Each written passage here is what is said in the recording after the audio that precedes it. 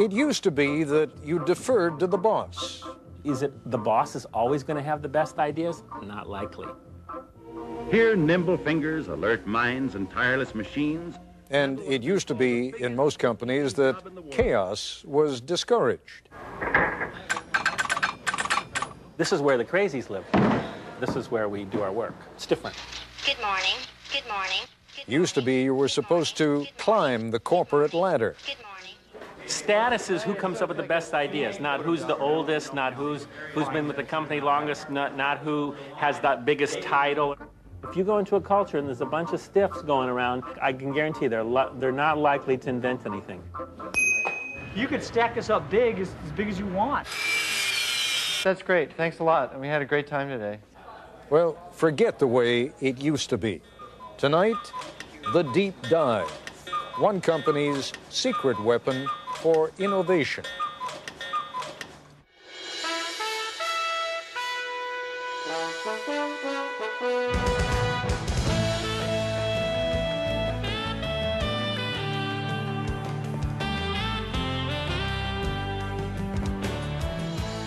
A lot further along in this broadcast, near the end, as a matter of fact, you will hear one of the central characters suggest that we look around.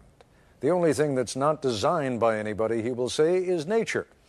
Actually, you could say the same thing by observing that the only designs that don't require constant modification are the ones we find in nature. But the point is well taken. From the buildings in which we live and work to the cars we drive or the knives and forks with which we eat, everything we use was designed to create some sort of marriage between form and function. Does it work, and can we make it look interesting or attractive? What is truly amazing is how long we tend to put up with things that may not work particularly well or may look especially unattractive simply because we're accustomed to them and because no one has ever suggested redesigning those things. There's an interesting distinction between design and invention. Whoever came up with the idea of dental floss, for example, was an inventor, but the man or woman who put it inside that clever little plastic box that lets you tear off just the right length, that was a designer. Now, how does the process of designing a better product work? And would it be interesting to watch that process? When we first broadcast this program back in February, we weren't at all sure what you would think, but judging by the number of you who ordered video cassettes of the program and the number of people who contacted the industrial product design firm that is featured in this program, you liked it a lot. Here was the premise of the program. We went to IDEO, the product design folk, and said, Take something old and familiar, like, say, the shopping cart, and completely redesign it for us in just five days. ABC News correspondent Jack Smith tells us what happened next. Nine in the morning, day one, and these people have a deadline to meet. So, welcome to the kickoff of the shopping cart project. This is Palo Alto, California, in the heart of Silicon Valley, and these are designers at IDEO, probably the most influential product development firm in the world. Designers are the reason TVs have square screens, chairs four legs, and toothbrushes nowadays those squishy handles. In fact, it was IDEO that designed those squishy handles. IDEO has designed everything from high-tech medical equipment to the 25-foot mechanical whale in the movie Free Willy and the first computer mouse for Apple. Smith ski goggles, Nike sunglasses, NEC computer screens.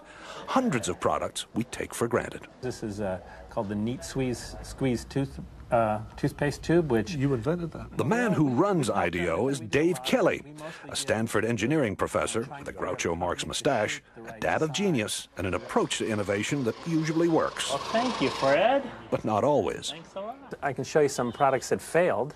Came up with this idea called monster shoes, where you take these little monsters and lace them into your shoes like this. And we built a bunch of them, and um, I didn't want those either. So Mostly what IDEO designs, though, does work, and it works very well. Dave and his design teams create about 90 new products every year. The point is that we're not actually experts at any given area. You know, we're kind of experts on the process of how you design stuff. So we don't care if you give us a toothbrush, a toothpaste tube, a tractor, a space shuttle, you know, a chair, it's all the same to us. We like want to figure out how to innovate in in by using our process applying it. And so for the next 5 days the team will apply that process to bringing the supermarket shopping cart into the 21st century. Um, I think first we should maybe all acknowledge that it's kind of insane to do an entire an entire project in a week. Project leader is Peter Skillman, a 35-year-old Stanford engineer. Project leader because he's good with groups, not because of seniority. He's only been at IDEO for six years. The rest of the team is eclectic, but that's typical here. Whitney Mortimer, Harvard MBA. Peter Coughlan, linguist. Tom Kelley, Dave's brother, marketing expert. Jane Fulton Suri, psychologist. Alex Kazaks, 26, a biology major, who's turned down medical school three times because he's having too much fun at IDEO. Kids climbing up and doing this. Kids oh, do that. Safety emerges early as an important issue. 22,000 child injuries a year, which is, and so they're hospitalized injuries. I mean, there, there are many others. Not And- just reported in the store. That's you No, actually no, have no, to go no, to the that's emergency room. hospitalized. Right. And theft. It turns out a lot of carts are stolen. You know, what is the average life of a cart? Does it last two years, five years, ten years? And, and how big is this theft thing? 10 a.m. As the team works, it becomes clear there are no titles here, no permanent assignments. And the other side says, gives us a lot of help, says, be safe. Everyone appears to be equal, and they love to mock corporate America. I'll give you status. I'll give you a big red ball on a on a on a on a post, and that says you're a big guy. If you got a ball, you're a senior vice president. You know what do I care? The desk, the red ball, it's all the same. In a very innovative culture, you can't have a kind of hierarchy of here's the boss and the next person down, the next person down, the next person down, because it's impossible that the boss is the one who's had the insightful experience with shopping carts. It's just not possible. According to Kelley, even employees who merely listen to the boss don't add that much either. So you gotta hire people who don't listen to you, and that I don't think corporate America wants to hear that right yet. Um, I think we ought to start making those lists about the kinds of questions that we're going to ask. The team splits into groups to find out firsthand what the people who use, make, and repair shopping carts really think. Okay, go. The problem with the plastic cart is the wind catches it. Yeah. And these things have been clocked at 35 across the parking lot. Man, That's actually a pretty good point. The, the trick is to find these real experts and so that you can learn much more quickly than you could by just kind of doing it the normal way and, and trying to learn about it yourself. From everything I read, these things aren't that safe either, you know?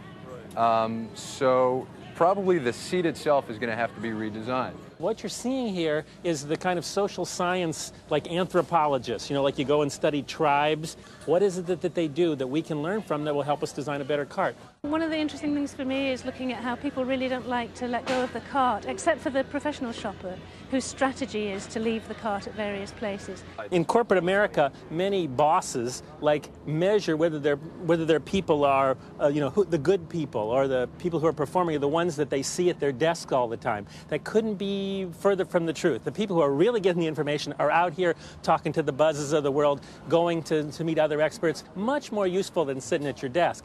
3.30 in the afternoon, and the group is back at IDEO. There is no let-up.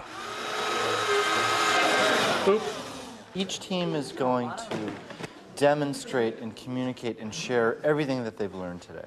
Um, people went off in the four corners of the earth and are coming back with the golden keys to the to innovation. A uh, shopping cart has been clocked at 35 miles an hour traveling through a parking lot in the wind. We were in the store, what, two hours? And, and it was truly frightening just to see the kind of stuff going on. You ought to designate some people to make damn sure that the store owner's point of view is represented. After nine straight hours, the team is tired. They call it a day. So, um, Everybody cool? well, uh, that's great. Thanks a lot. We had a great time today.